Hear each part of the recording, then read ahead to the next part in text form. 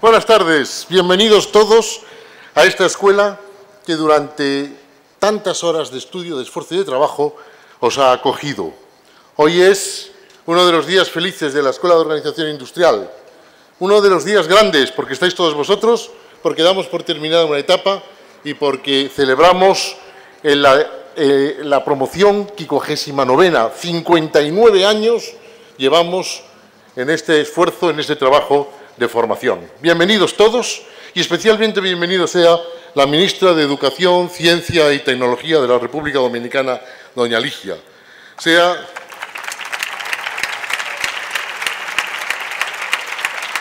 con un esfuerzo extraordinario que ha hecho para estar hoy con nosotros. Bienvenido también el padrino de la promoción, don José Piqué,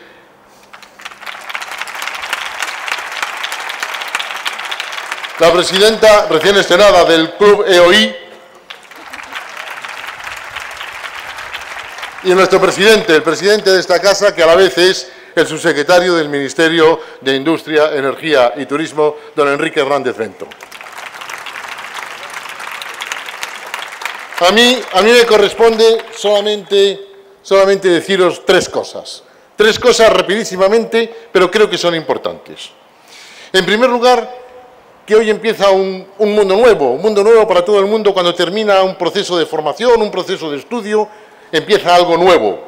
Y cuando nos enfrentamos a algo nuevo, lo que nos tenemos que preguntar es el por qué. Hacer las cosas porque sí no tiene sentido. Por lo tanto, vamos a hacerla con una visión estratégica y que nos permita contestarnos a muchas de nuestras preguntas. Esa típica respuesta del por qué sí, por qué no, o en qué piensas, en nada, han dejado de existir en nuestro lenguaje. Entiendo que empezamos un mundo en donde tenemos que querer y tenemos que poder llegar a aquello que hemos deseado. En segundo lugar, el concepto de la responsabilidad, que entiendo también que es especialmente importante.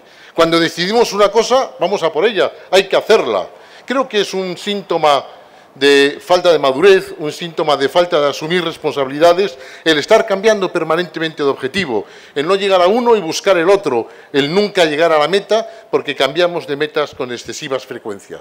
Y el tercero, sin duda alguna, el esfuerzo. Ese mundo de que hoy las cosas ya no se regalan, hoy tenemos que trabajarlas en un esfuerzo permanente para conseguirlo. ¿Y para conseguir el qué? Para conseguir lo más importante, que es el futuro porque agua pasada no mueve molino. Y pensemos una cosa, que el futuro es lo más importante. ¿eh? El futuro es el tiempo en el que vamos a pasar el resto de nuestra vida. Y el futuro comienza hoy. Bienvenidos a esta casa que siempre será la vuestra.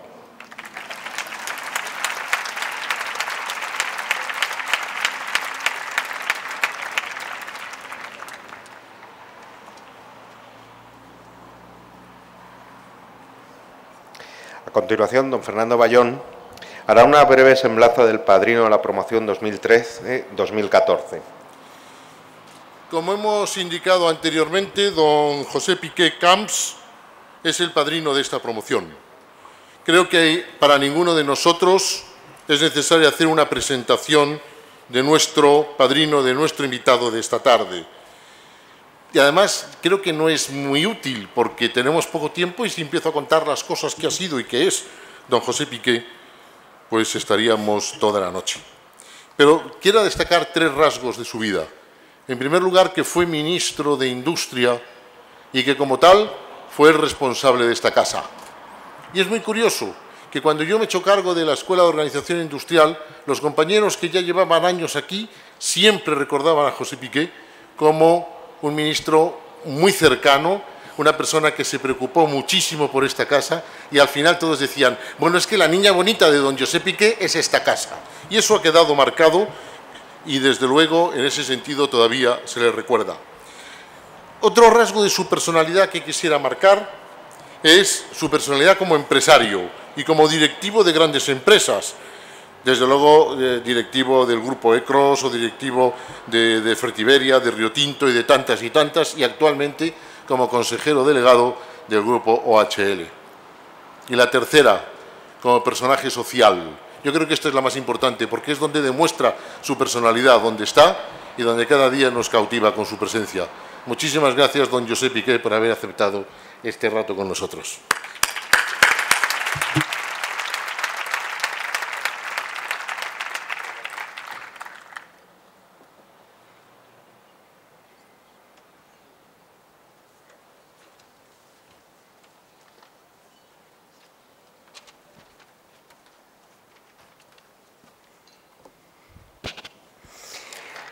Pues muchísimas gracias. Buenas tardes, señor subsecretario de Industria, Energía y Turismo y presidente de la Escuela, señora ministra de Educación Superior, Ciencia y Tecnología de la República Dominicana, eh, señora presidenta del club de la EOI y querido amigo Fernando, director general, queridos amigos, queridos alumnos y hoy ya en disposición de recibir el título de posgrado y de executive de este curso 2013-2014.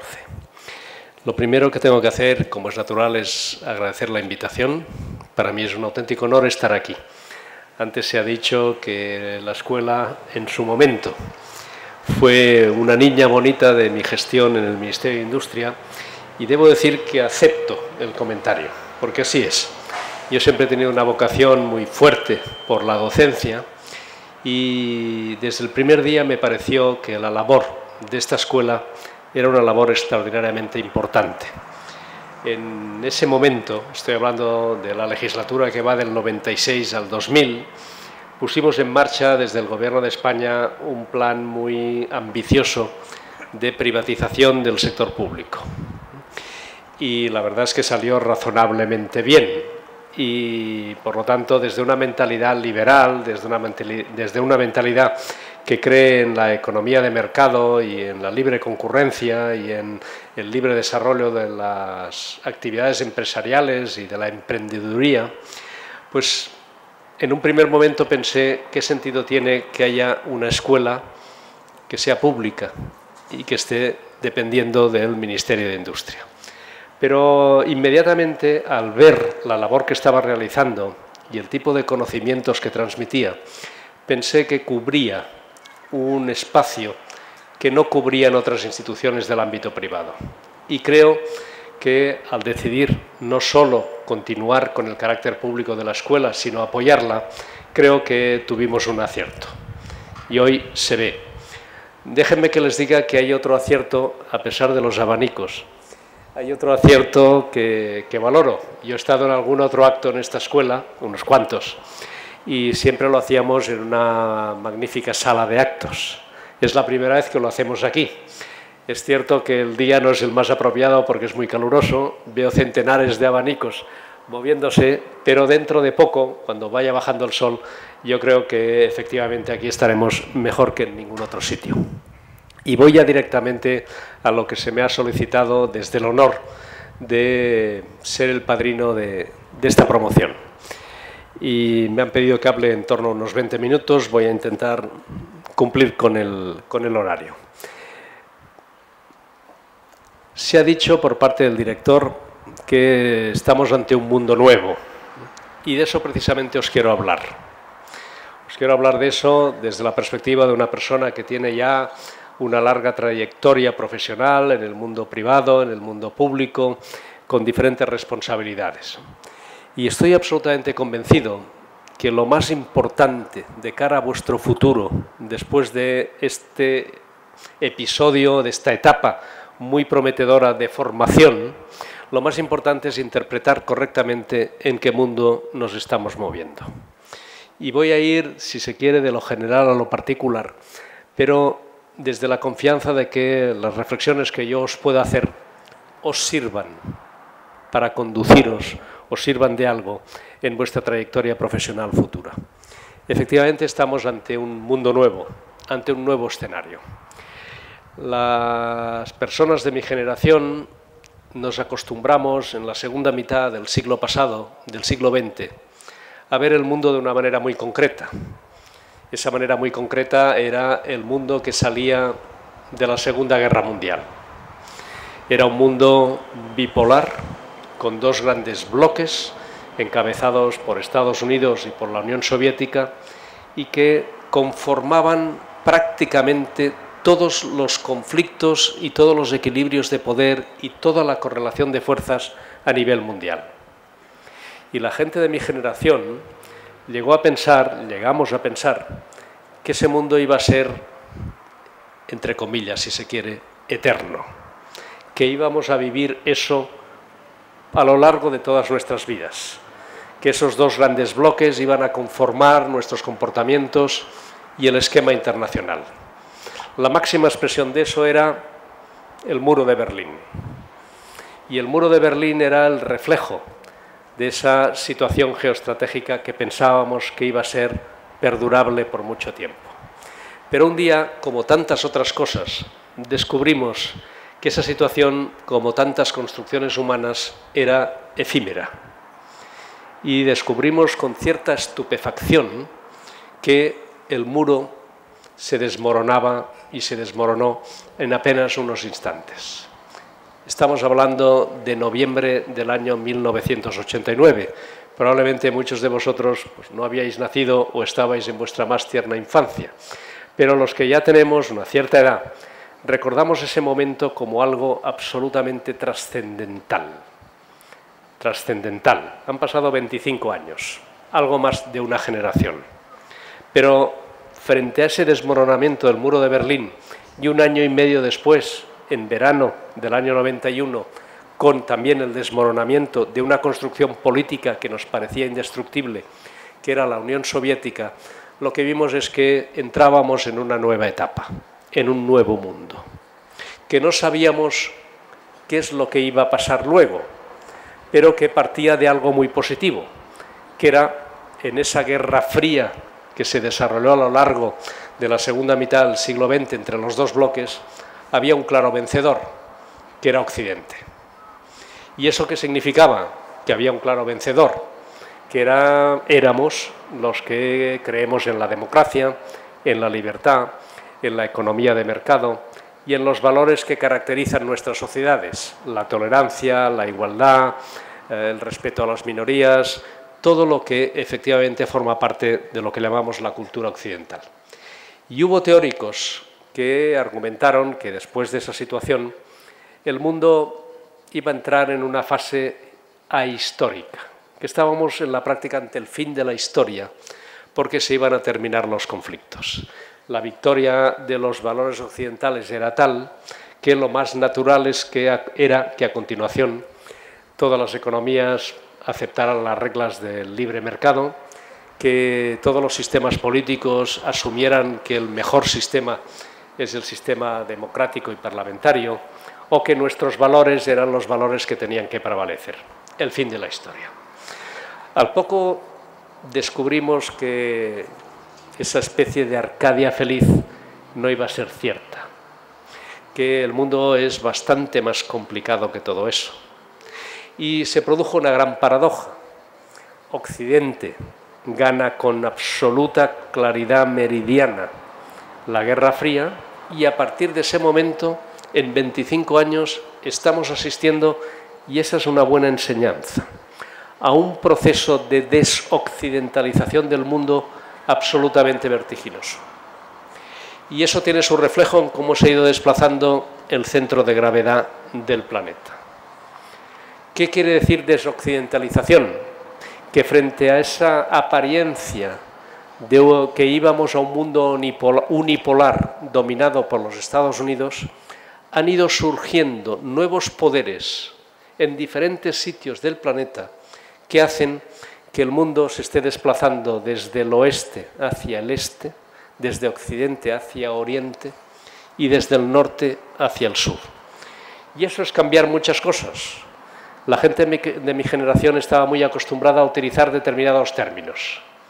Diálogo norte-sur, tercer mundo, después empezamos a hablar de potencias emergentes.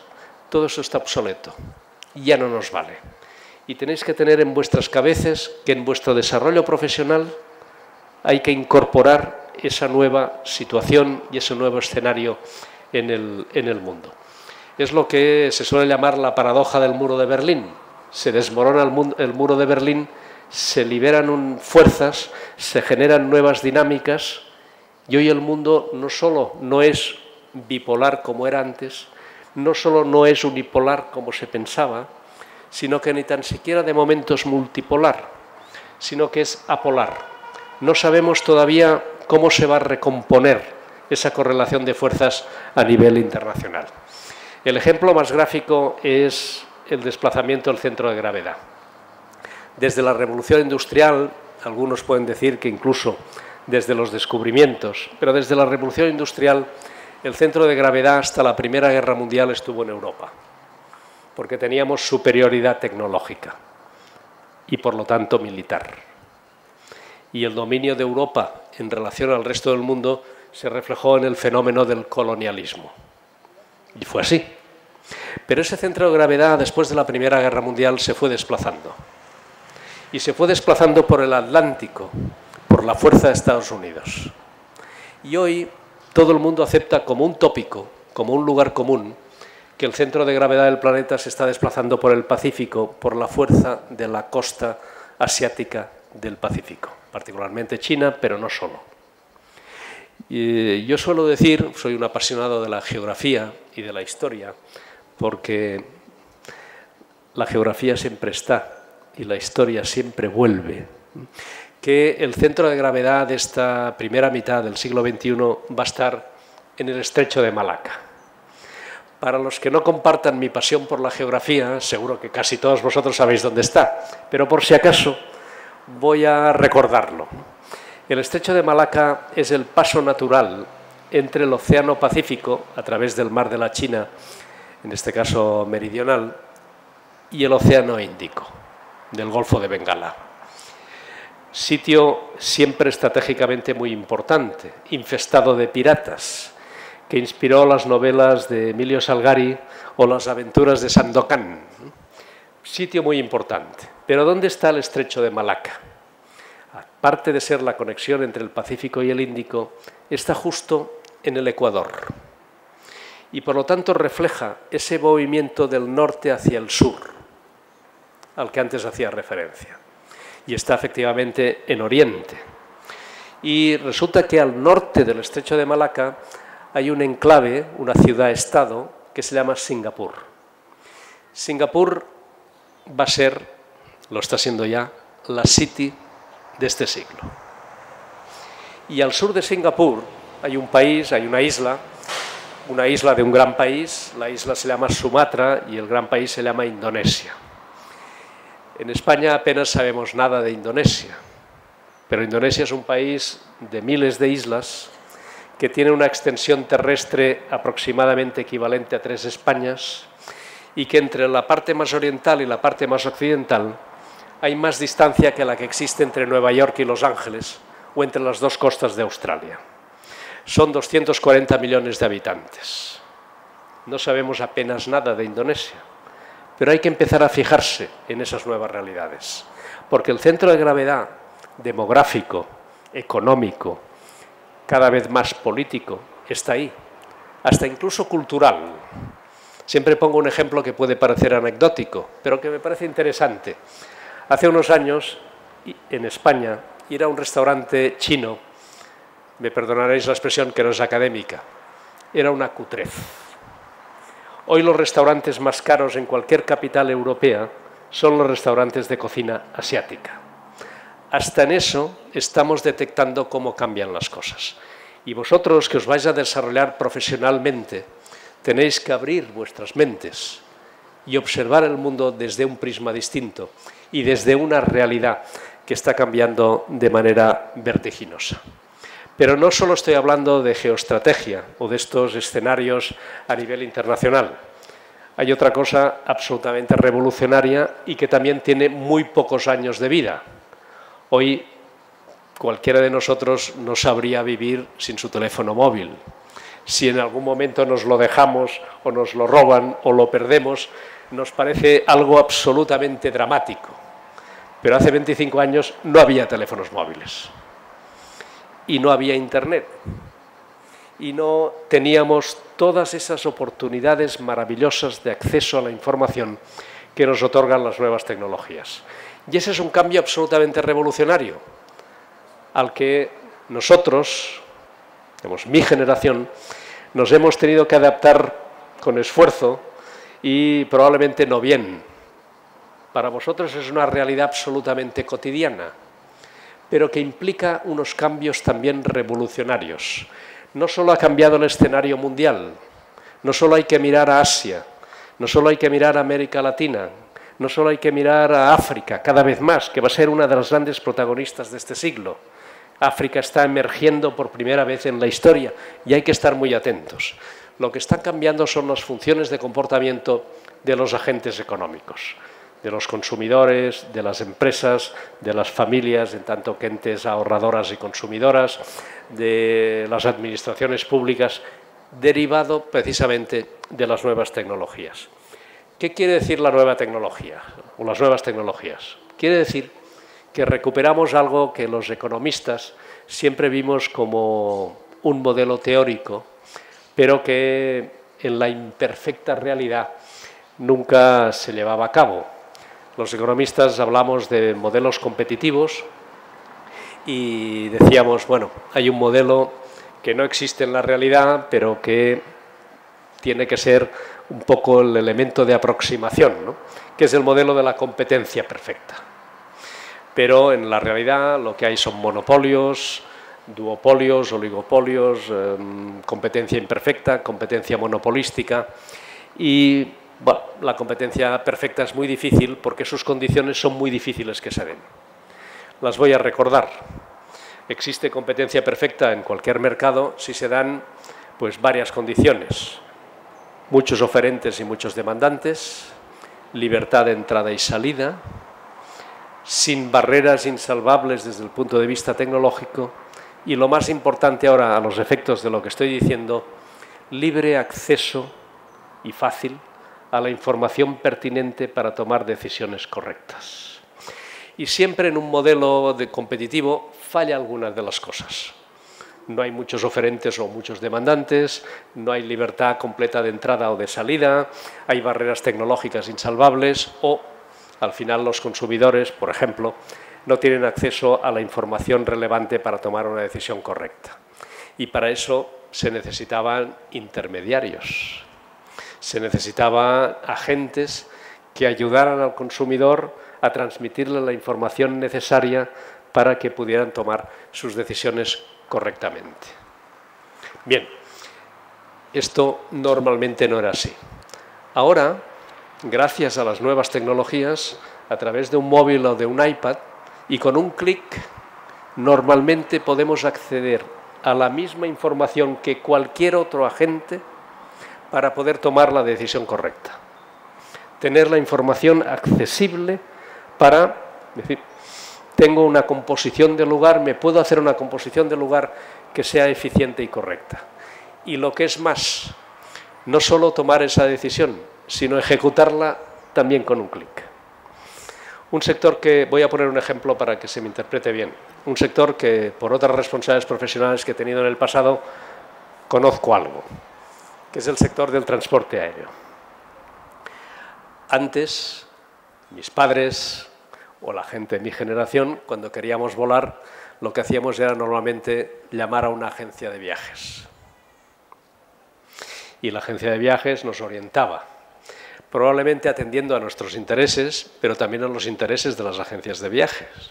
Bien, ahora a cualquiera de vosotros, y desde luego a los jóvenes, ni se les ocurre, si quieren volar, ir a una agencia de viajes. Es más, no saben qué es eso porque cogen su iPad o cogen su smartphone e inmediatamente disponen de la información relevante para no solo decidir, sino comprar el correspondiente billete. Y además en el propio iPhone o en el propio smartphone, por no hacer propio, Samsung, pues pueden tener su, eh, su tarjeta de embarque y pueden disponer absolutamente de todo. ¿Qué quiere decir eso? que ha vuelto la soberanía del consumidor como concepto y que por lo tanto la correlación de poderes en el ámbito, en, el ámbito económico, en el escenario económico, también está cambiando. Están empezando a tener mucho más poder los agentes económicos individuales porque tienen acceso a toda la información que los poderes tradicionales. Y eso implica cambios en lo económico, en lo cultural, y por supuesto en lo político, por supuesto en lo político, porque incluso podríamos llegar a especular con que los tradicionales intermediarios entre los ciudadanos y las instituciones en el ámbito político, eh, que son los partidos políticos, pues tienen que reconocer que hay una nueva realidad, que son las nuevas tecnologías y ahora en estos momentos en particular las redes sociales, que permiten una relación entre ciudadanos e instituciones completamente distinta. Estas transformaciones son absolutamente revolucionarias desde mi punto de vista y las tenéis que incorporar a vuestros planteamientos profesionales de futuro. La formación es absolutamente fundamental. Sin formación difícilmente se puede ser competitivo, difícilmente se pueden, te puedes desarrollar intelectualmente y profesionalmente. Pero también es muy importante que vayamos interpretando y entendiendo unas nuevas realidades que tienen muy pocos años de vida, pero que se han instalado de una manera completamente radical en nuestros comportamientos cotidianos. Y ese es el mensaje que yo os quería transmitir respetando los 20 minutos que se me han pedido. Estamos, como ha dicho el director, ante un mundo nuevo, pero no porque forme parte del tópico. Eh, a veces alguien habla, estamos ante una era de cambios. Siempre estamos ante una era de cambios. La historia es la, la sucesión de transformaciones y de cambios.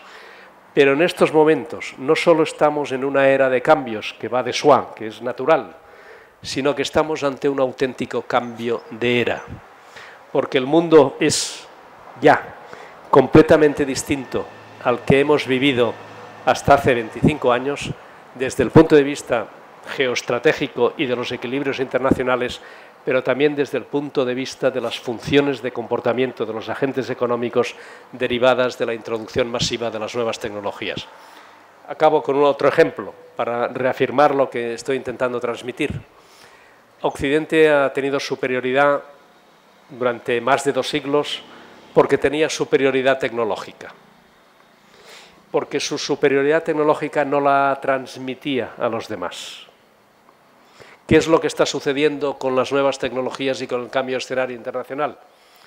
Que el acceso a la tecnología se está generalizando y está permitiendo que prácticamente cada vez más centenares, ya miles de millones de ciudadanos estén en igualdad de condiciones en todo el mundo generando centenares, miles de millones de ciudadanos que tienen acceso a unos ciertos niveles de bienestar, generando clases medias que están en la base de los sistemas democráticos.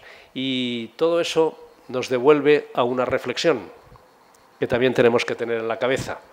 Hasta el siglo XVIII, entre China e India, producían más de la mitad del Producto Bruto Mundial. ¿Por qué? porque eran más. Y las tecnologías eran tecnologías, del sector primario. Todos más o menos trabajábamos la tierra con arados y con bueyes y con fertilizantes de origen natural o de origen animal. Eh, eso se rompió con la revolución industrial y la revolución industrial implicó además que los occidentales éramos capaces de producir nuestros alimentos con muchísima menos gente y con muchísima más eficiencia. Esto es lo que está cambiando vertiginosamente. Y por lo tanto, a lo que estamos asistiendo es a una recuperación de lo que sucedía hasta el siglo XVIII. Y es que los países más importantes del mundo son los que demográficamente son más importantes y más dinámicos. Decía, y con esto acabo, Augusto Comte, fundador de la sociología moderna y del positivismo, que en la demografía está el destino. Pues bien, en estos momentos en la demografía vuelve a estar el destino. Y en ese mundo os vais a tener que manejar difícil, complicado, pero desde luego creo que muchísimo más promisorio que el mundo cerrado y confrontado que hemos tenido que vivir otras generaciones. Muchas gracias.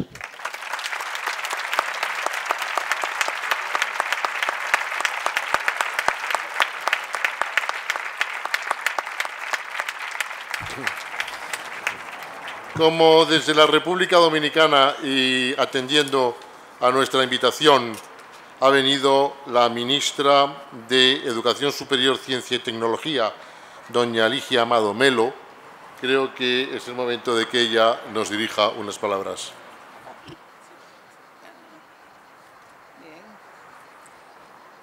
Bien, don Enrique Hernández Ventos, su secretario de Industria. Don Joseph Piqué, consejero delegado, que acabamos de oír, muy bien. Don Fernando Bayón, director de la Organización de Escuela Industrial EOI. Doña Pilar Gómez Fabra, presidenta del Club EOI. Distinguidos invitados especiales, profesores, graduandos, señores y señoras. Para el gobierno dominicano y para el Ministerio de Educación Superior, Ciencia y Tecnología, que me honro presidir en especial, es de gran importancia haber establecido relaciones con la Escuela de Organización Industrial EOI desde el año 2007, en que establecimos un acuerdo marco y mediante el cual del 2008 al presente año han egresado 589 becarios, incluyendo los que hoy reciben su título. Para continuar nuestras relaciones en este año académico 2014-2015, hemos seleccionado 300 nuevos estudiantes para cursar estudios a nivel de posgrado en esta prestigiosa institución, lo cual representa el 29% de los becados que tendrán como destino España.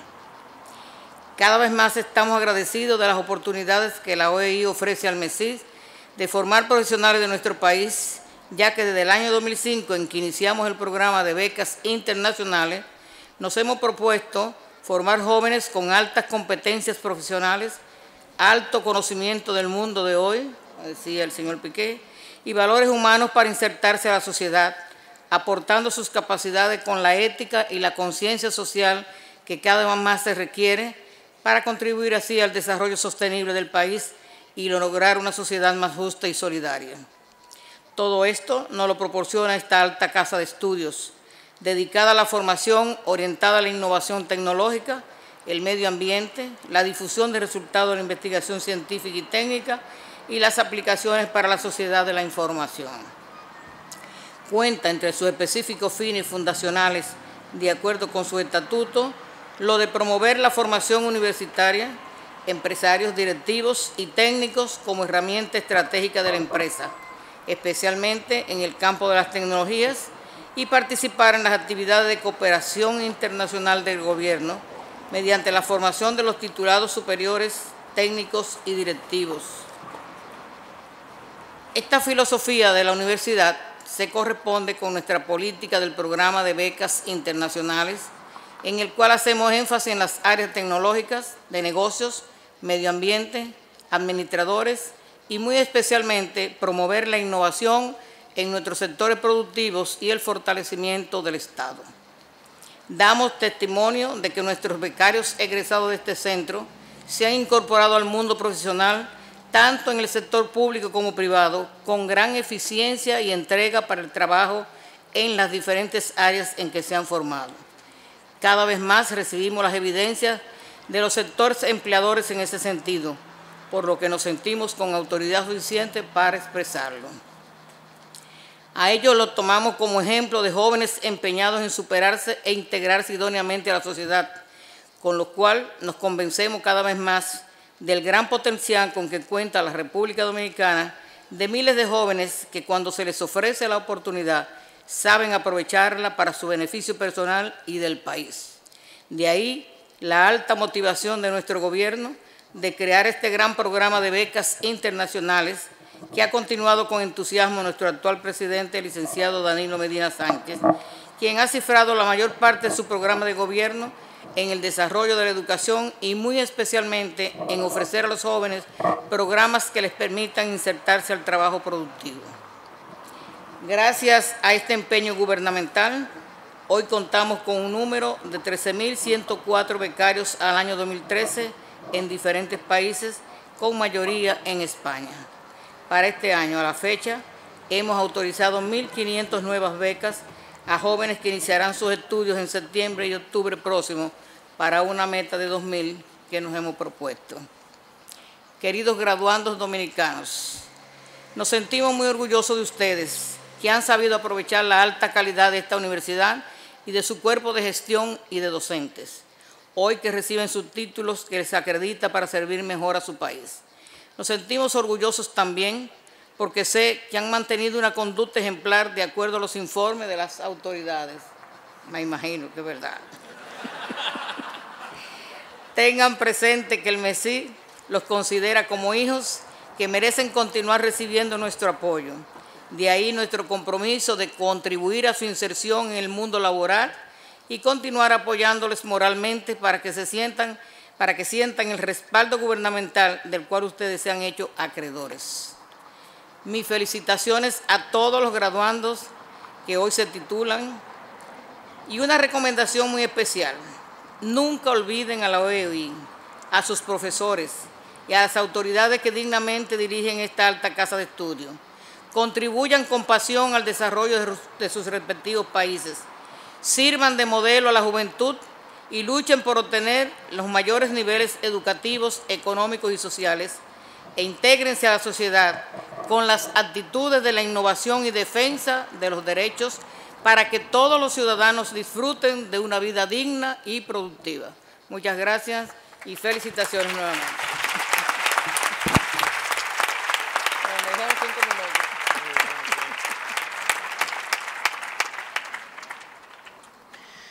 Llegó el momento más especial.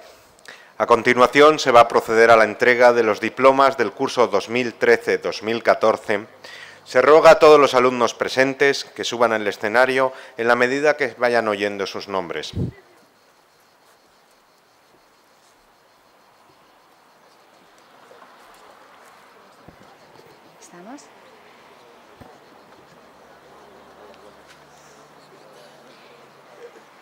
International Master in Sustainable Development and Corporate Responsibility y Máster en Ingeniería y Gestión del Agua. Hacen entrega de los diplomas don Josep Piqué y doña Ligia Amada Melo.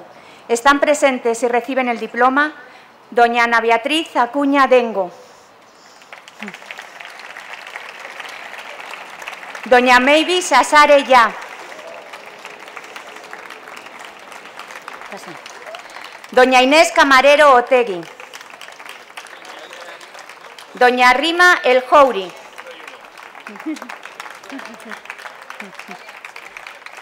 Don Mario Escamilla Aquiles. Doña Sofía García Carretero Malagón. Doña Marta Gómez Manchón. Don Juan Carlos Gómez Martín. Doña María Gutiérrez Méndez. Doña Clara Valentina Cupa. Don Guillermo José La Torre Merino.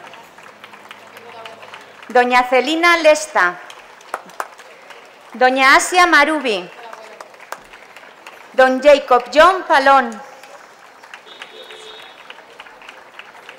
Doña Gabriela Pella Fernández. Don Guido Preti. Doña Ivonne Roca. Doña María Rocha Pardo.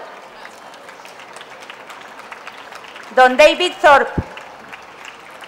Don Carlos Blázquez Jiménez. Don Mitai de la Torre Piña. Don Javier de Pablos Navarro. Doña María Jesús Fernández Migueles. Don Rubén Gámez Antón. Don Hugo Guilarranz Municio. Don Javier Gutiérrez Merino. Don Rodrigo Lucas Frías. Don Mauricio Mingorría Martínez. Don Mateo Montero Valerela. Doña Carolina Pérez Bermúdez. Doña Beatriz Pérez Soler. Y doña Victoria Vázquez Béjar.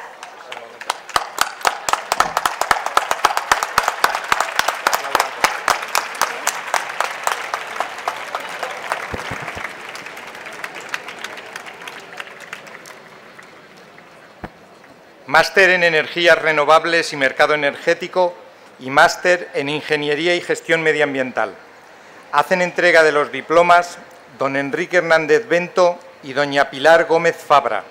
Están presentes y reciben el diploma doña María Elena Andrés García, doña Ellen Costilla García, don Alberto de la Riva Álvarez, don Óscar Denis Pérez, don Antonio Díaz Ellín Benito, doña Ana Fernández García, doña Yolanda Fernández Nistal,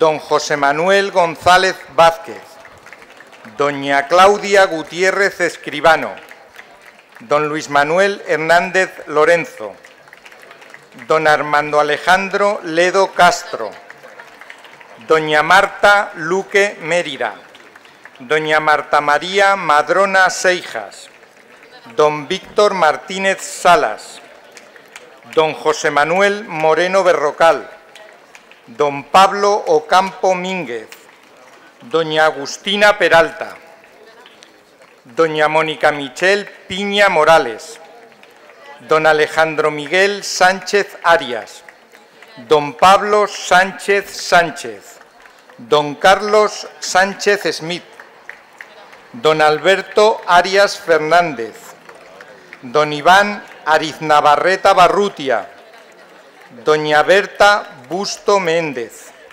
don Pedro Juan de la Fuente Cumplido, doña María Luisa Díaz Castaño, doña Silvia Díez González, doña María Isabel Garballo Martín, doña Alba González Melero, don Adrián Montalvo García, don Francisco de Borja Morán Quijano, don Javier Naranjo Ibáñez, doña Ana Noriega Martín, doña Diana Núñez Rojo, don Jaime José Poti Miralles, don Miguel Ángel Rubio Candeal y doña Beatriz Sarrión Fernández.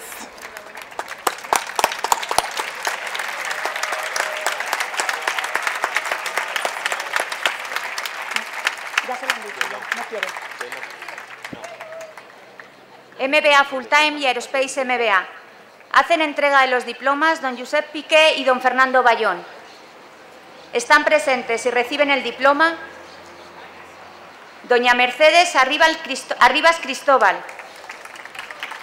doña Sandra Cabido Fernández, don Gabriel Antonio Calles Alonso, doña Paula Castro Sá, don Alberto de Dios Maza, doña Natalie Emanuel Borja, don Gonzalo Fernández Ortega, don Álvaro Gili Pozo, don David Jorge Lara, don Pablo Larraceleta García, doña Ruth Moreno Ruiz, don Cristian Morel Mosqueda Bolívar, don Iker Pagola Arruti, don Alberto Tejeda Alcalde, don José Abraham Caravaca Fernández, doña Alba Cerqueira León, doña Eulalia Cirés Buey,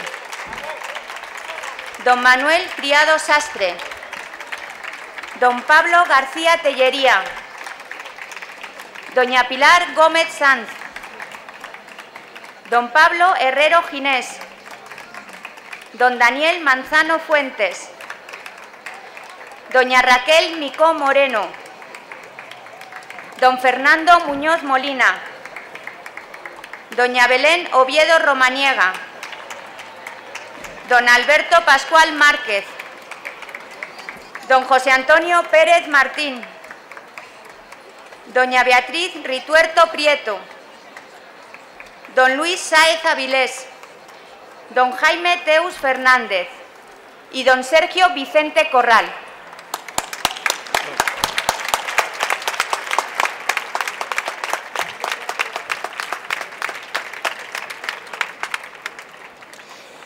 Máster en Gestión de la Calidad y Excelencia Empresarial, MBA Part-Time y Programa Superior en Big Data y Business Analytics.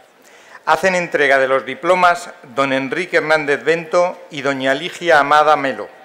Están presentes y reciben el diploma don Benoit Samuel Dudoñón, don Isabelo García Ortiz, doña Verónica Andrea Lee Vergara, doña Cristina Parra San José, don Íñigo Preciado Erro, don Pablo Agulla Barreiro, doña Eva Lucía Anido Merino, doña María Dolores Buendía Fernández, doña Beatriz Caballero Rebolledo, don Federico Casabianca Casorati, don Alberto Jesús Fernández Asensio, don Javier Fernández García, don Bruno Fernández González, don Borja García Zamora, don José Javier Gómez Corzo, doña Laura Andrea Gómez Delgado, don David Gómez Pérez, doña Ana Gutiérrez Pérez, doña Luisa Isabel Hernández Falcó, don Fernando Martín Hernández, doña Carmen Medina Molina, don David Moure Tribaldos, don Miquel Pérez Maíz, don Daniel Rodríguez Martínez, don José Pablo Sabrido Bermúdez, don Guillermo Sánchez López, doña Esther Zugasti Martínez, doña Laura Abad Ramos, don Miguel Vaquero Fernández, don Óscar Echavarri López, don Alberto Fernández Díaz, don Alejandro Gómez Alarcón, don Jorge González Flores, don Jorge González Navarro, don Carlos Jiménez Velasco, don Íñigo Luis López Pérez, don, don Alberto Marco Baón, don Miguel Rivas Vázquez y don Óscar Valle de Miguel Sanz.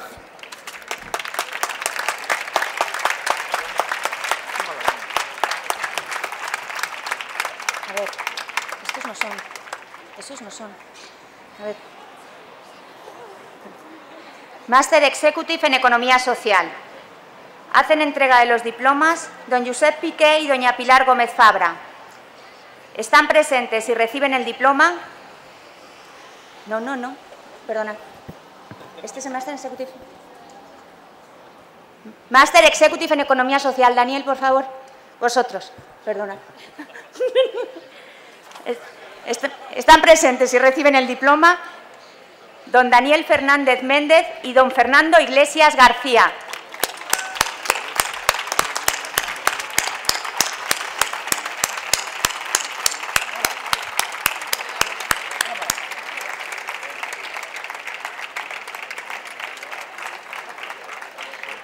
Doña María Teresa García Santamaría.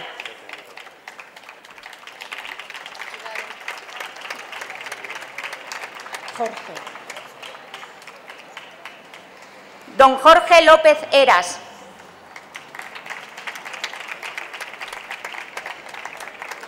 Doña Verónica Martorell Martínez.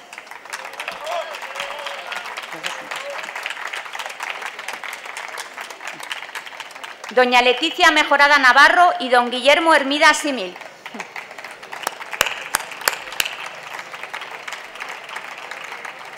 Cuidado, cuidado.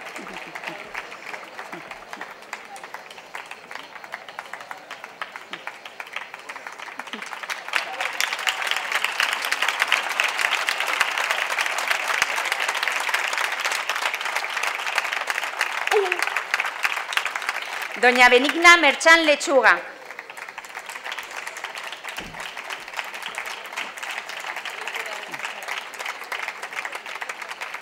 Doña Julia Segovia Martín y doña Bárbara Palau Vidal.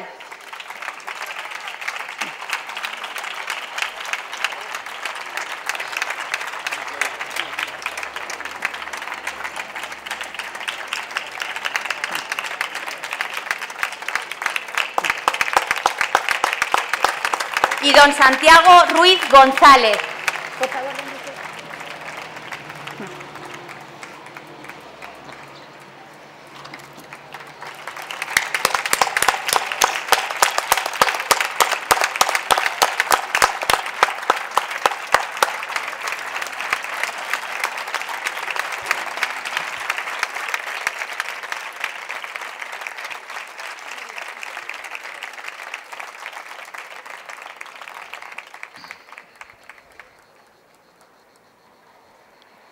Executive MBA in Sustainable Global Business Acciona y Executive MBA Online.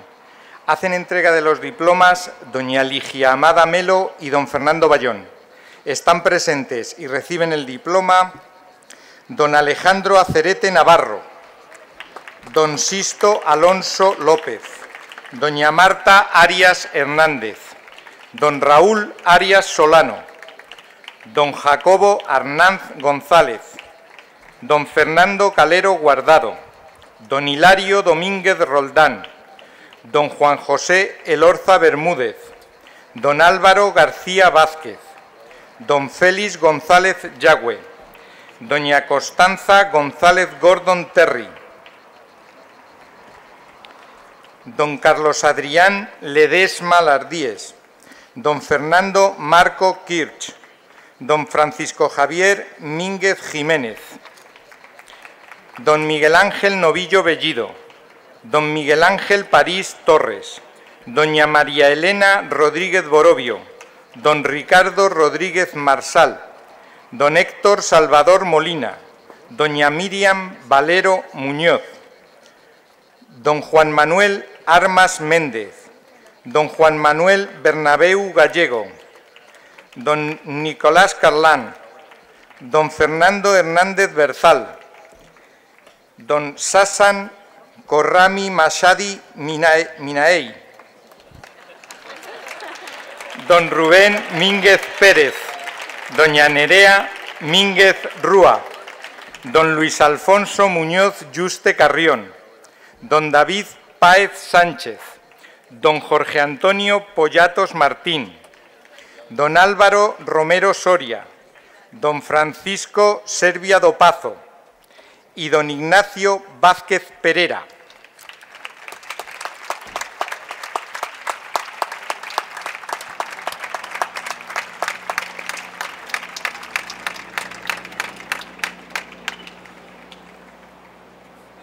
Executive MBA quincenal y Executive MBA semanal.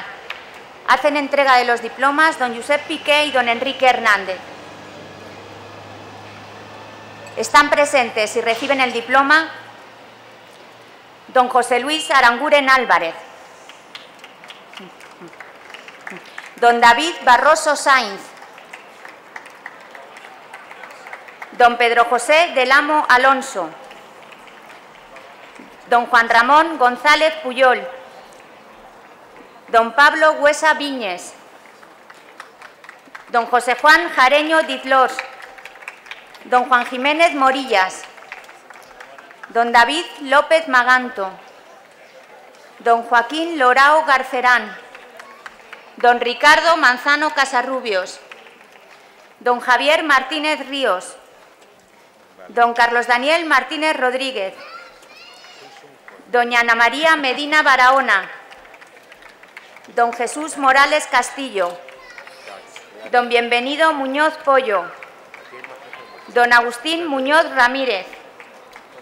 Don Santiago Nuevo Dadama, don Francisco Emilio Acosta García, don, don Guillermo Álvarez Arias, don Fernando Andújar Barroso, don Pedro Blesa Márquez,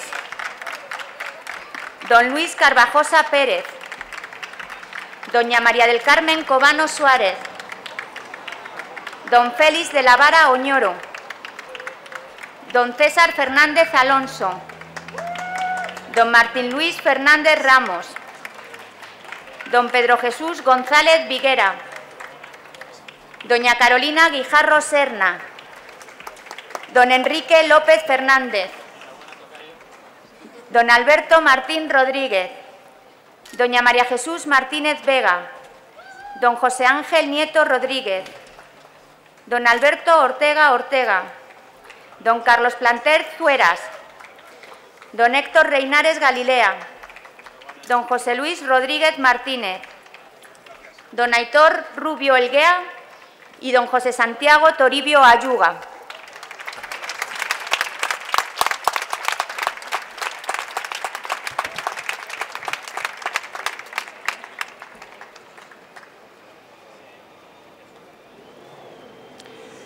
Máster en Desarrollo Directivo Sector Financiero Global Caja, Máster Profesional en Ingeniería y Gestión Medioambiental y Programa Ejecutivo en Big Data y Business Analytics. Hacen entrega de los diplomas don Fernando Bayón y doña Pilar Gómez Fabra.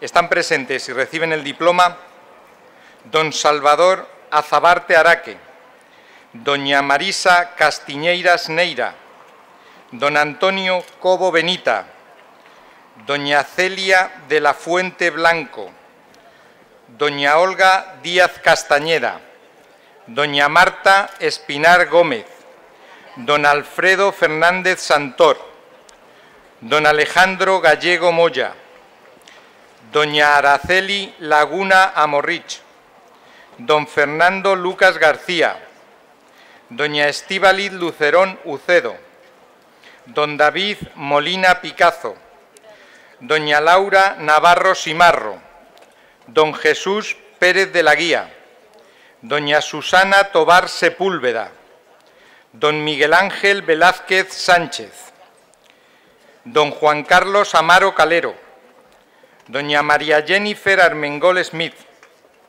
doña Ana Garrido Quesada, doña Ana Matamala San Cristóbal, doña Elena Moya Yanguela, don Santiago Muñoz Cumplido, don Juan Pardos Lázaro, doña Victoria Arizmendi López, doña Lucía Cobo Quintas, doña María Mercedes García García, don Fernando Rubio Canales, don Enrique Saúl Pérez, don Sergio San Martín de Santos y don Ricardo Siguero Martín.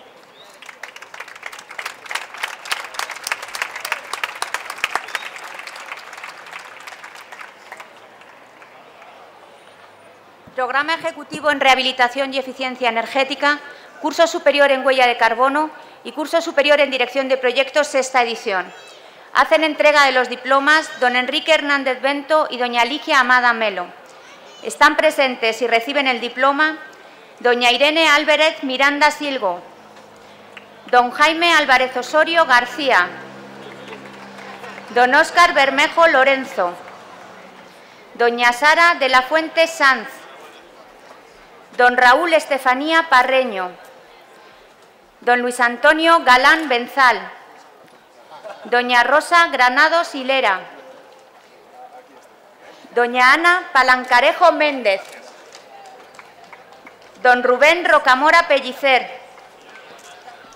don David Hernández García, doña Luz Piqueras Fraile, doña Ana Sanz Rodríguez, doña Avilia Soriano Bartolo, doña Cristina Tarazona Oliveros, don Álvaro Barbero Jiménez, doña Volga del Castillo Domingo, doña Cristina Díez Benito, doña Julieta Fernández Hoffman, don Luis Quintero García y doña María del Mar Valiente Pérez.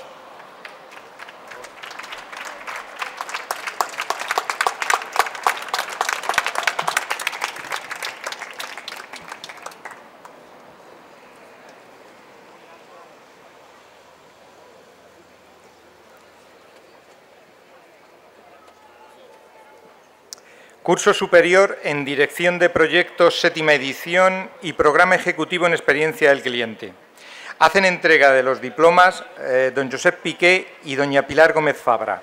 Están presentes y reciben el diploma don Jesús Alcaraz García, don Juan Luis Bernardo Muñiz, don Iván Botamino García, doña Rosa María Castro Sánchez, doña María Gálvez Luna, don Sergio Javier Gil Rejas, don Juan Antonio González Rodríguez, doña Begoña Gost Ascanio, doña Trinidad Hernández Velasco, don Justo López Rey, don Miguel Lou Moreno, don Pedro Iván Martín Moreno, doña Isabel Martín Caro López, doña Ainhoa Montero de Espinosa Marrón, doña Cristina Asenjo Navazo, don Enrique Barambio Buisán, don Javier Conde Serrano,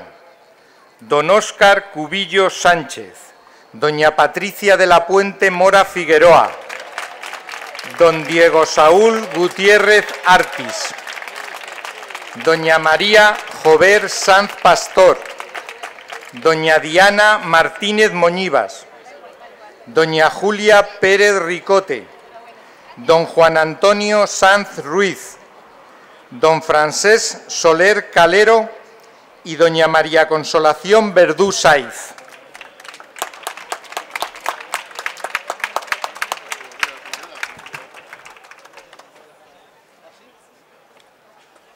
Programa Superior en Coaching Ejecutivo, primera y segunda edición.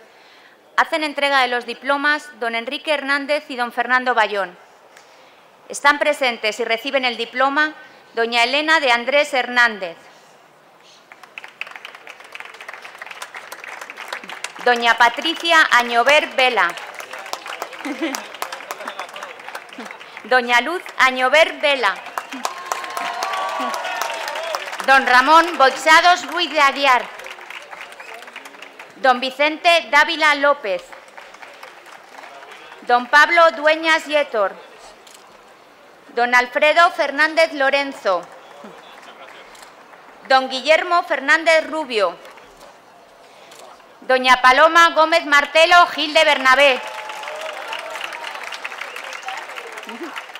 don Jaime Gullón López Puigcerver, doña Fernanda Morales Barba, don Pedro Negro López, don Alberto Pérez Borrachero, don Diego Rojas Burguillo, doña María Romero Gómez, doña Victoria Eugenia Sánchez Fuentes, doña Carmen Vallejo Garcelán, don Jesús Verde García, don Carlos Vigil Fernández, don Alejandro Villarroya Polo, doña Rocío Agudo León, don José Luis Álvarez Bello, doña Elisa Carrasco Mutz, don Pedro Ángel Corraliza Zamorano, doña Miriam Díaz González, don Antonio Duarte Vázquez, don Emilio Guzmán de Lázaro Torrubiano, doña Iciar Mazuelas Camiruega, doña María Jesús Savicente Naval, don Adrián Tejero San Vicente, doña Elena María Terraza Maestre y doña Ascensión Vázquez Pérez.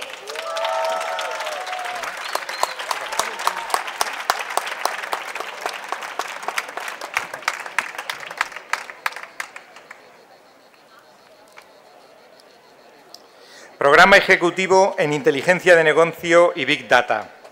Hacen entrega de los diplomas don Josep Piqué y doña Ligia Amada Melo. Están presentes y reciben el diploma don Eduardo Bercerril Rodríguez, don Joel Enrique Cardoso Tiburcio, don Antonio de la Cruz Lozano, don Pablo Ema Llorente, doña Francisca Ferrer Costa, doña Beatriz Gómez González, don José Manuel Gómez Lobo Rodríguez, doña Covadonga María Menéndez López, doña Yolanda Miguel Casquete, don Miguel Nieto Sandoval San Segundo, don Alberto Piñero García, doña María de los Ángeles Rodríguez Benavente, don Miguel Rul Cuyén, don Sergio Manuel Teruel García y doña Patricia Yagüe Inglada.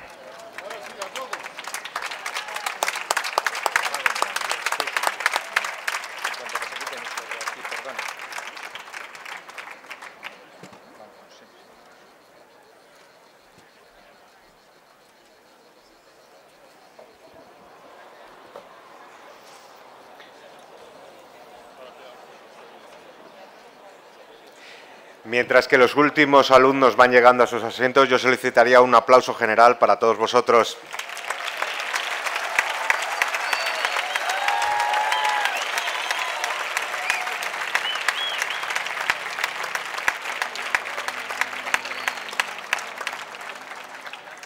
A continuación, se va a hacer entrega de las menciones especiales del curso 2013-2014 a los alumnos y profesores destacado por su trayectoria profesional, desempeño, implicación y, sobre todo, compromiso con los valores EOI.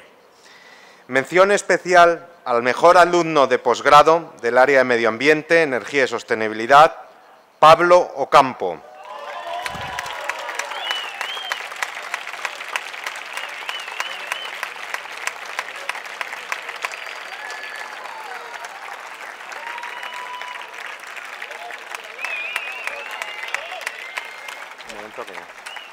Aquí.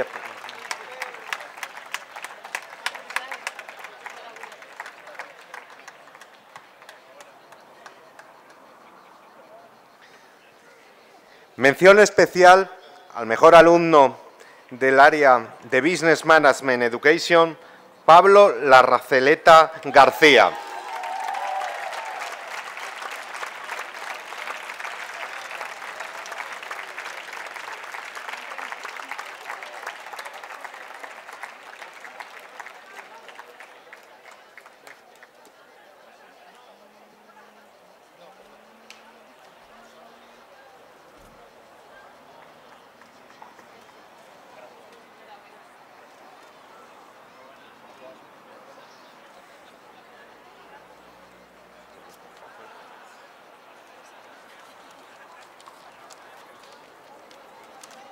Hola.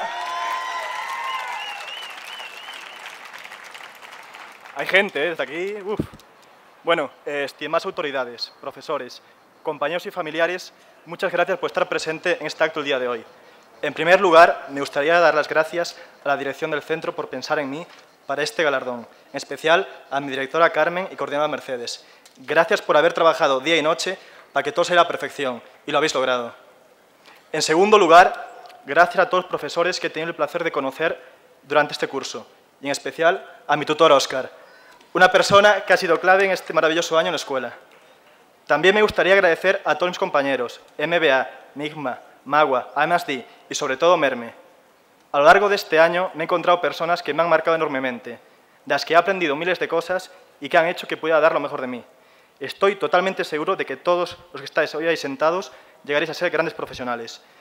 Pero si a alguien tengo que darle las gracias, ellos son mis padres, mi hermano y Anita. Gracias por los valores que me habéis inculcado. Gracias por apoyarme. Y sobre todo, gracias por creer en mí. Si alguien se merece recoger este premio, no soy yo, sois vosotros.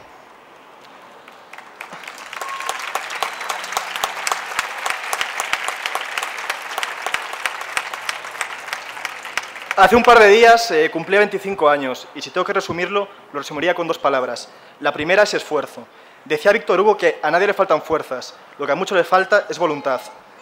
Últimamente he escuchado la frase qué mala suerte demasiadas veces, pero si de algo me he dado cuenta en estos años es que la suerte no existe, existe la perseverancia. De nada sirve lamentarse. Si se cierra una puerta, no os preocupéis, aprovecha para aprender y convertir ese error en una ventaja. Ya verás cómo se abrirán dos, tres o cuatro puertas. La segunda palabra es ilusión. Hace un año aproximadamente me matriculaba en este máster con ilusión de un niño de tres años y con esa ilusión me he estado levantando todos los días. Ilusión por aprender, ilusión por conocer nuevos profesores, nuevos amigos. Además de eso, ilusión también es luchar por lo que queréis, escuchar los consejos con humildad, pero que nunca nadie os diga, eso no lo podéis hacer. Sois vosotros mismos quien debéis tomar las decisiones y poner vuestros límites. Y recordar, tener éxito en la vida no es llegar a tener fama, sino realizar aquello que realmente deseáis. Muchas gracias.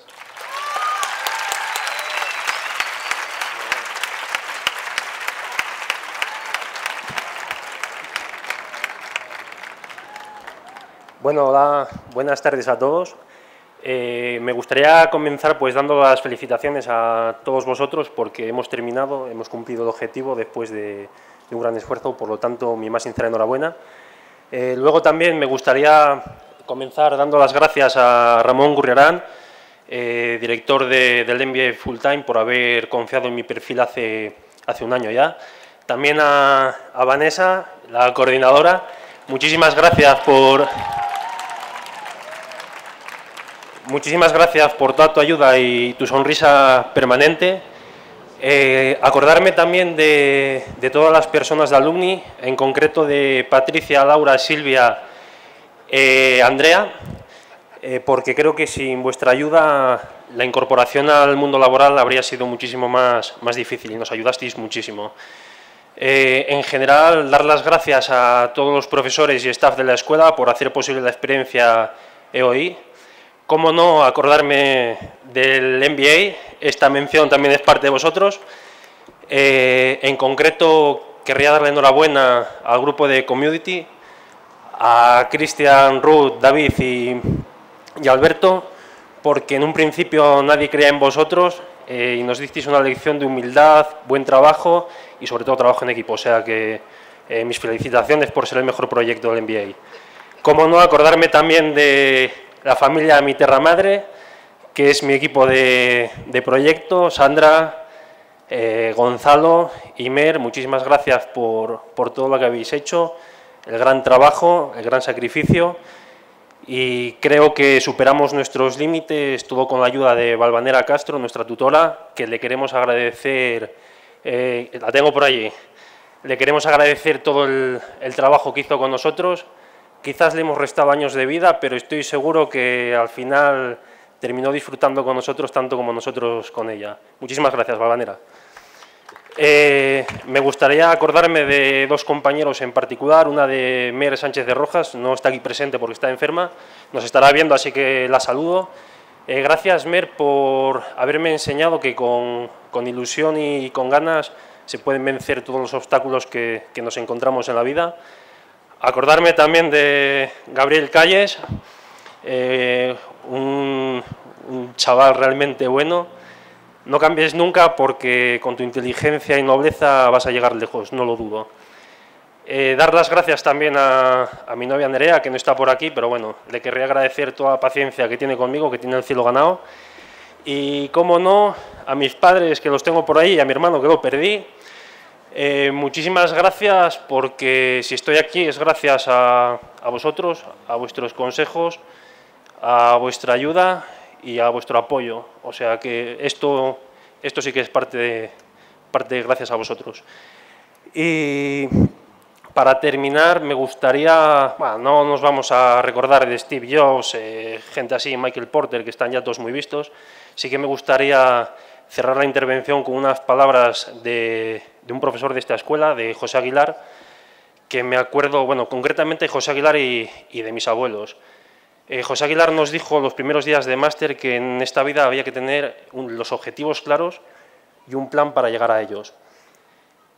Eh, ¿Qué hay que tener para, ese plan? Sobre todo eh, sacrificio y esfuerzo. Como decían mis abuelos que estudiaron en la Universidad de la Vida, el que algo quiere, algo le cuesta. Es decir, muchísimo sacrificio y esfuerzo. Por lo tanto, no lo olvidéis. Objetivos, sacrificio y esfuerzo. Muchísimas gracias. Hasta pronto.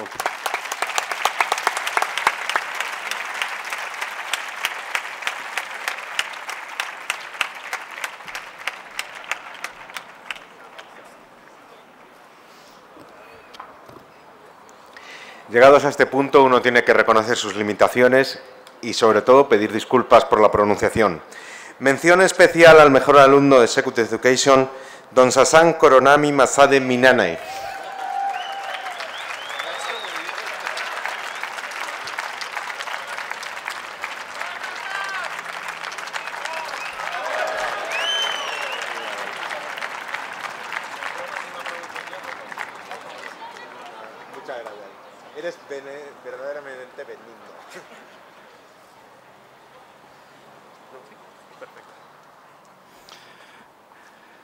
Estimado director general, don José Piquet, estimado cuerpo docente, estimado equipo de staff de gestión y dirección de la Escuela EOI, quería expresar en nombre y representación de todos nuestros más profundos y sinceros agradecimientos por toda vuestra labor, tanto en la faceta académica como en los conocimientos y experiencias y el cariño que nos habéis trasladado.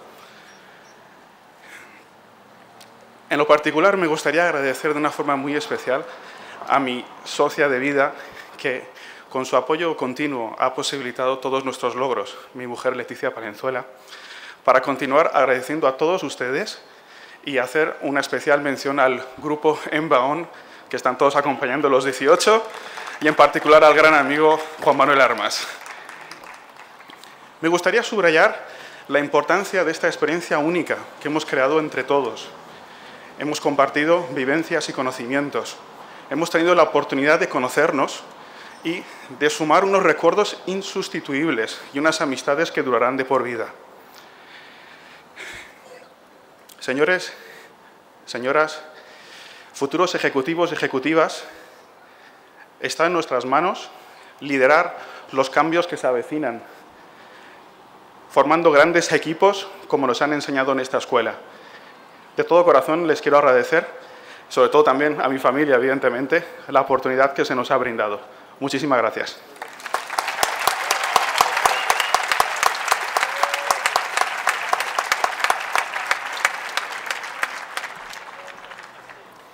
Han podido comprobar que su castellano es mucho mejor que mi iraní. ¿eh?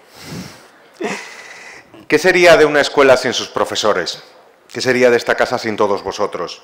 Mención especial al mejor profesor por su dedicación y transmisión de los valores EOI en el curso 2013-2014, doña Cristina Rey. Un fuerte aplauso. Hasta el último instante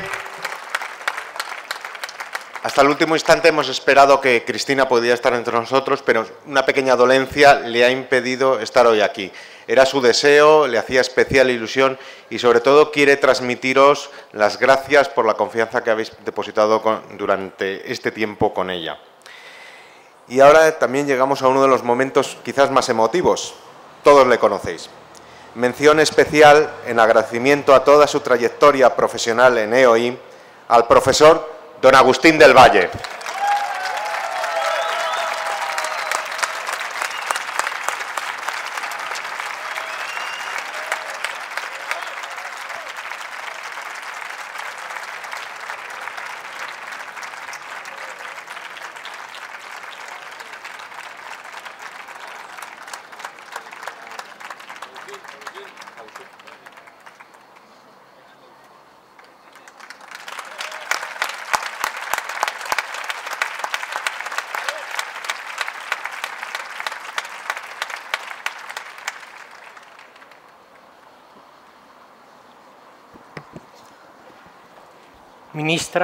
Presidente de la Fundación, director de la Fundación, presidenta del club. Querido Josep Piqué, te lo digo así porque eres colega, economista, y mis alumnos de economía han podido ver cómo las condiciones de la competencia perfecta sirven para explicar los cambios del futuro tecnológico. Es curioso, ¿eh? la economía sirve para algo. Yo soy profesor de economía eh, vosotros venís a aprender gestión de empresas. Yo, desde el principio, os dije que la gestión es importante, pero que hay algo fuera. Hay algo fuera que es la economía, sobre la que no podéis influir y que influye en vosotros, y si no, que se lo digan a tantas empresas bien gestionadas que han caído en esta crisis. Es importante. Gracias a todos por haberme concedido este honor. Gracias especiales a Mariló Martínez, que sé que ha puesto mucho hincapié en esto. Y, y a todo su fabuloso equipo femenino que ya lo quisiera Claude Juncker, que está en un aprieto porque no le van a aprobar el gobierno si no tiene mujeres. Y gracias sobre todo a los que habéis sido mis alumnos por el cariño, por el reconocimiento, por tanto como me habéis eh, eh, animado a entregarme. Eh, me hace enorme ilusión. Me hace enorme ilusión porque me siento muy recompensado porque he podido daros por lo menos tres mensajes. El uno, que la economía es importante. El segundo, no como gestores, sino como personas que hay problemas económicos y políticos y de regeneración en este país muy serios. Y hay dos tipos de personas, os lo decía en clase, unos que leen el Marca y ven Telecinco y otros que pueden leer artículos de economía de esos que os digo. Me alegra, me alegra mucho vuestra inquietud, os la agradezco infinito. Si he podido inculcarla, seré enormemente feliz. Y una última cosa, si he podido transmitiros algún conocimiento de economía, porque de economía hoy sabe todo el mundo, hasta saben lo que es la prima de riesgo. Antes decían la prima de quién, pero no saben economía. Y por tanto, si no saben economía, podéis ser manipulados. Seguir estudiando, la verdad os hará libres. Esto es evangélico. Muchas gracias por vuestro cariño.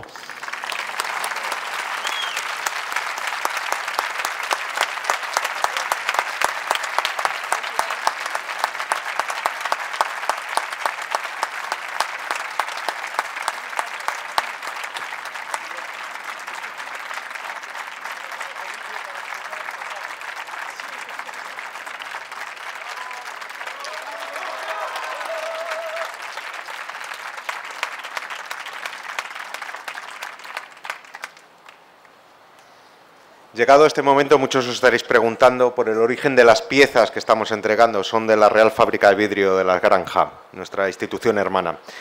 Llega el momento de entregar el Premio Internacional Fermín de la Sierra.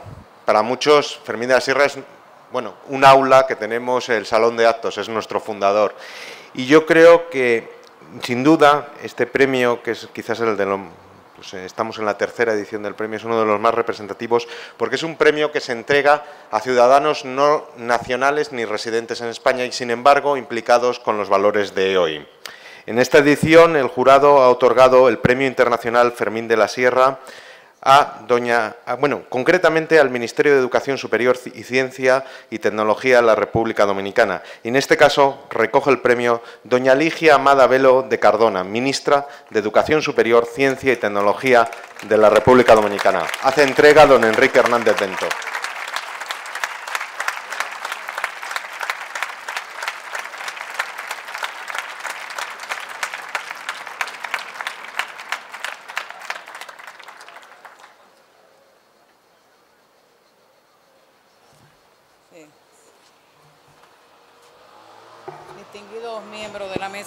A quedar acá, queridos graduandos.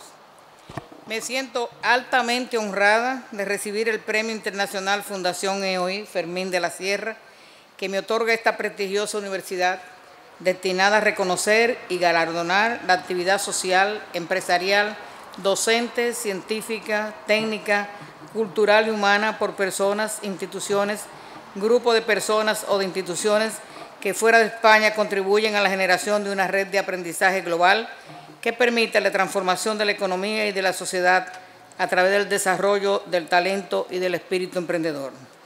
El nombre que se otorga este premio en reconocimiento a este gran ciudadano, don Fermín de la Sierra, reputado ingeniero, economista y profesor, cofundador de la Escuela de Organización Industrial EOI en el año 1957.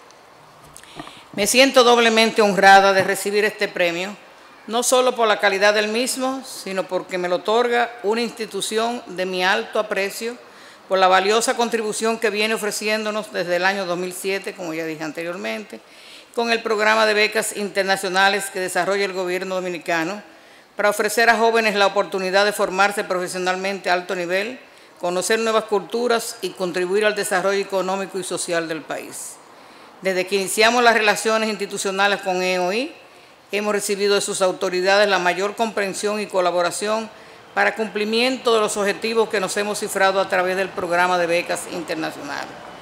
El recibimiento de este premio nos compromete aún más a mantener y ensanchar nuestras relaciones y nosotros felices de poder continuarla. Les estaremos eternamente agradecidos por la distinción de que hoy me hacen acreedora y desde ya me siento miembro de esta alta casa de estudios, si ustedes así me lo permiten. Hago extensivo mi agradecimiento en nombre del Gobierno Dominicano, del Ministerio de Educación Superior, Ciencia y Tecnología y de mi familia, de la cual hoy me acompaña mi hijo José Amado Cardona y una de mis nietas. Cuenten conmigo como una aliada permanente y defensora de los altos valores que esta institución enarbola. Sigan cosechando éxito y jóvenes sigan formándose creyendo en la OEI. Muchas gracias.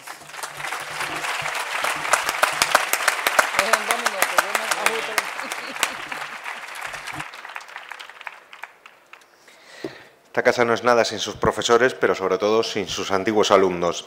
Toma la palabra doña Pilar Gómez Farábara, presidenta de la Asociación de Antiguos Alumnos EOI.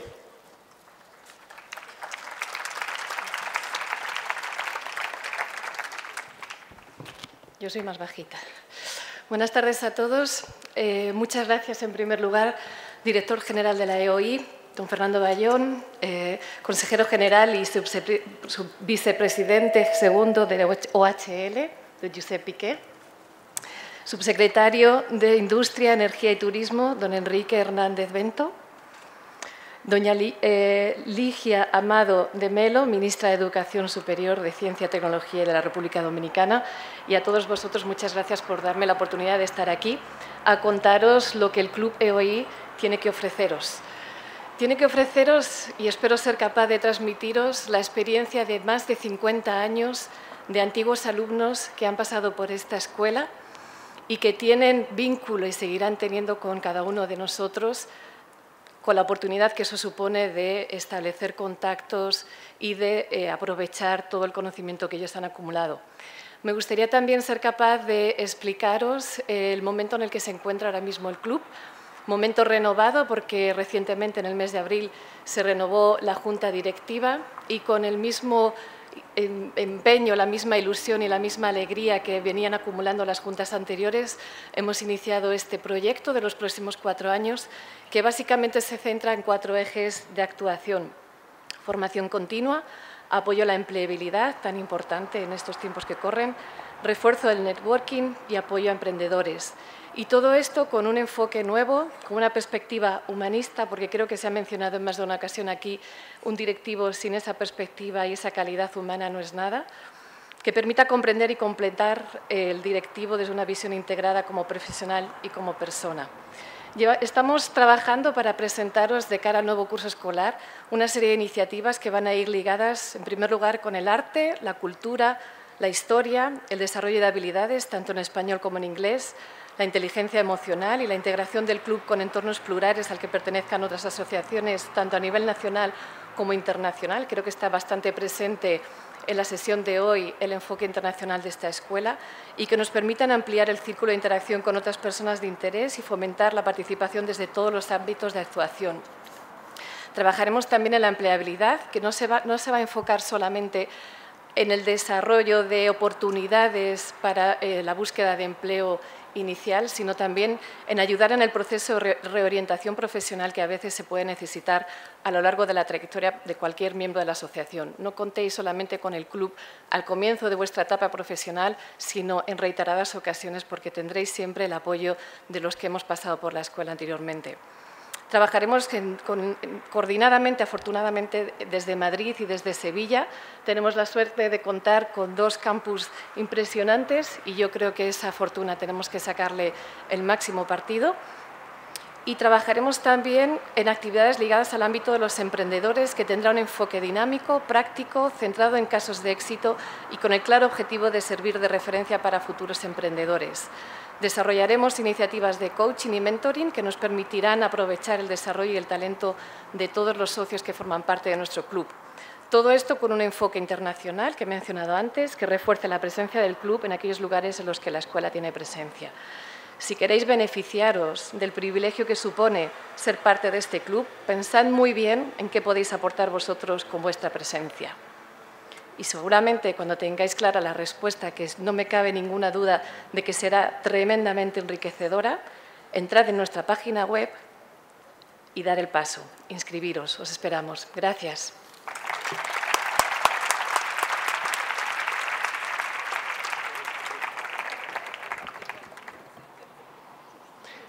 Toma la palabra don Enrique Hernández Bento, presidente del patronato de la Fundación EOI y su secretario del Ministerio de Industria, Energía y Turismo.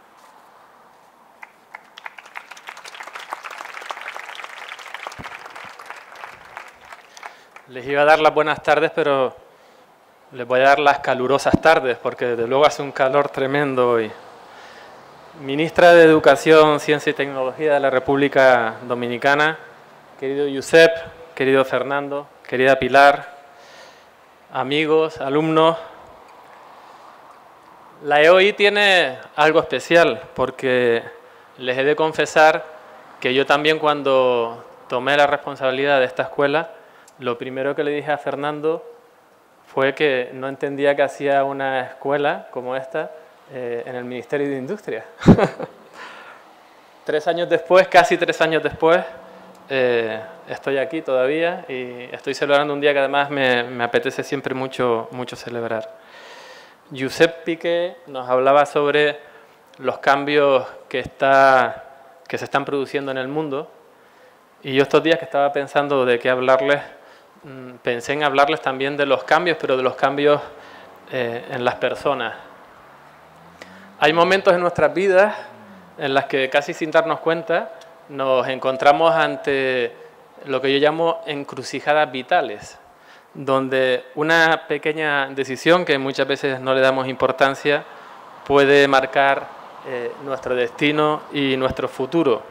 La vorágine del día a día muchas veces nos impide ser conscientes de, esos acontecimientos en los que una decisión intrascendente muchas veces, bueno, muchas veces no, nos suele cambiar eh, nuestra vida.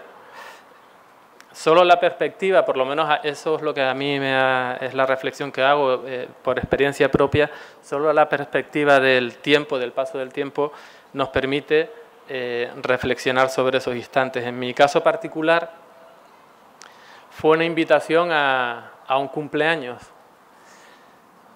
Yo la verdad que no tenía muchas ganas de ir a ese cumpleaños. Yo eh, antes era una persona eh, que no me gustaba relacionarme mucho, ahora ya casi por obligación me tengo que relacionar con, con muchísima gente. Pero bueno, el caso es que, es que fui, allí conocí a, a una persona, eh, nos pusimos a hablar de política y bueno, yo en aquel momento no estaba vinculada a la política y la verdad es que eh, no hablé muy bien de, ni de la política ni de los políticos. Bueno, el caso es que al cabo de unos días, una noche, eh, me llamó a mi casa y esa persona pues me ofreció eh, entrar en, política.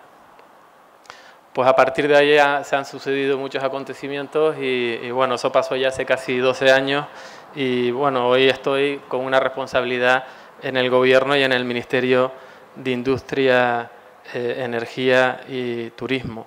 Seguramente si no hubiese ido, si no hubiese aceptado aquella invitación a aquel cumpleaños, hoy no estaría aquí hablándole a todos ustedes.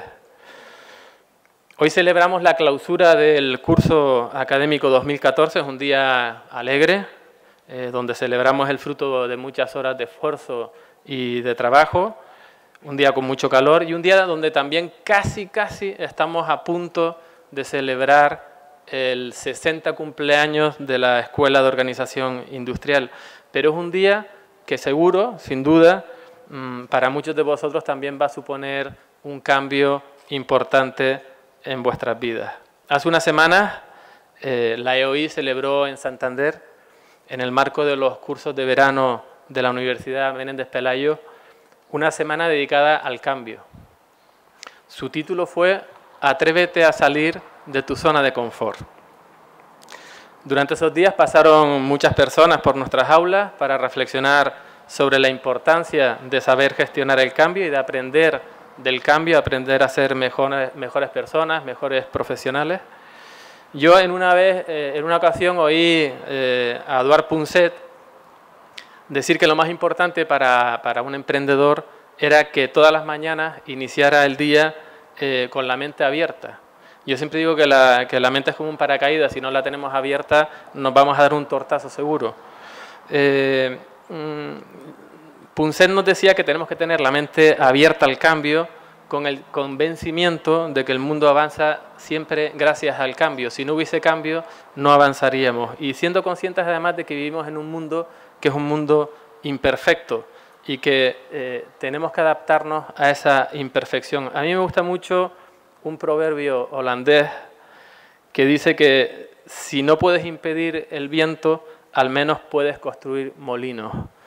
La capacidad para adaptarnos al cambio y para saber gestionar las circunstancias cambiantes de nuestra vida es muy importante y será muy importante en, vuestras vidas. Antes Josep hablaba de los cambios geoestratégicos en el mundo, es cierto, se están produciendo cambios muy importantes. Yo el otro día eh, compartía un acto con el secretario de Estado de, Telecomunicaciones y hacía referencia a un informe eh, de Telefónica pues que habla sobre las tendencias en materia de telecomunicaciones. En ese informe Telefónica decía que eh, básicamente concluía que ahora mismo la juventud actual es una juventud digital, es decir, estamos absolutamente eh, condicionados por las nuevas tecnologías y por la sociedad de la información. En ese informe se decía que los jóvenes en el rango entre los 18 y los 25 años, la gran mayoría prefería tener una buena conexión a Internet que un coche. Pero es que un porcentaje también muy importante preferían tener una buena conexión a Internet que una novia o con un novio, lo cual era mm, mm, bastante sorprendente. ¿no?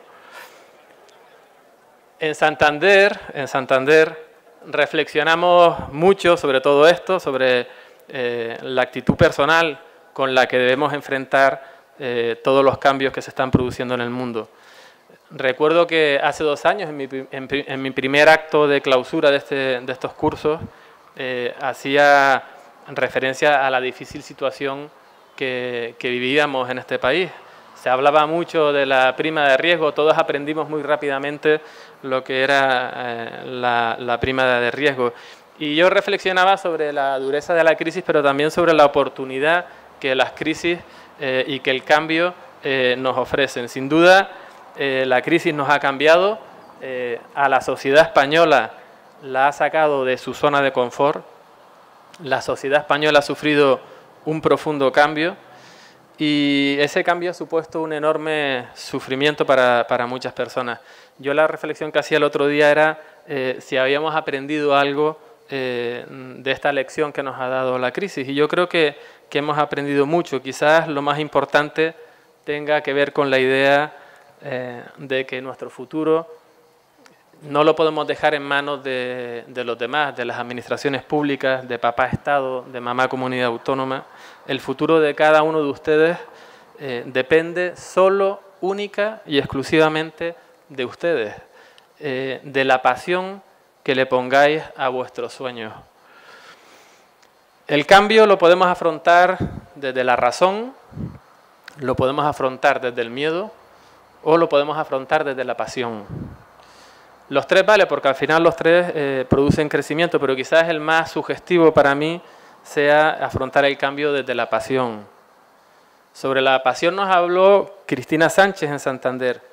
Fue la primera mujer matadora de toros de nuestro país. Ella nos explicó que la pasión por un sueño también conlleva estar dispuesto a sufrir y entender que eh, los que están a tu alrededor eh, también pueden sufrir. Nos hablaba de lo mal que lo había pasado su madre cuando ella le dijo que quería eh, dedicarse a, la profesión de matador de toros. Nos habló de las peleas con sus hermanas, con, con su familia. Al final nos decía que muchas veces, o a veces también, cumplir tus sueños a veces duele. Una de las razones principales de por qué las personas viven vidas sin pasión es porque no saben lo que quieren de la vida. Tienen una idea vaga de lo que sueñan o pequeños recuerdos de lo que una vez soñaron. Para asumir el cambio desde la pasión necesitamos conocernos a nosotros mismos. Quizás es lo más importante. Necesitamos definir y concretar cuáles son nuestros sueños, los nuestros. Muchas veces es la sociedad, son tus padres, son tus amigos, los que definen lo que significa el éxito o lo que el éxito debe ser para ti. El mayor error que podemos cometer es dedicar nuestra vida a buscar el sueño de los otros. Yo no quiero cometer ese error y espero que vosotros tampoco eh, lo cometáis. Ustedes sois el futuro. Eh, aquí voy a citar a Fernando Bayón, que una vez le oí decir que este es el mejor momento, además lo dijo hace dos años cuando lo estamos pasando muy mal, este es el mejor momento porque es el único momento. Por tanto, el futuro está en vuestras manos. Termino con una cita de Juan Bosch, primer presidente democrático de la República Dominicana, era ensayista, además de político, era ensayista y escritor, y Juan Bosch decía que el porvenir de los pueblos es obra de sus hijos más que de sus padres, de los que viven y de los que van a vivir, más que de aquellos que rindieron sus tareas y se marcharon con los siglos. La obra buena de los que se fueron, así como su obra mala, es propiedad de la historia, pero la obra buena que está por venir será fruto de las buenas intenciones de nuestros hijos y de nuestra capacidad para convertirlas en hechos. El futuro está en vuestras manos, vividlo con pasión y sobre todo si alguna vez les invitan a un cumpleaños, no dejen de ir. Muchas gracias.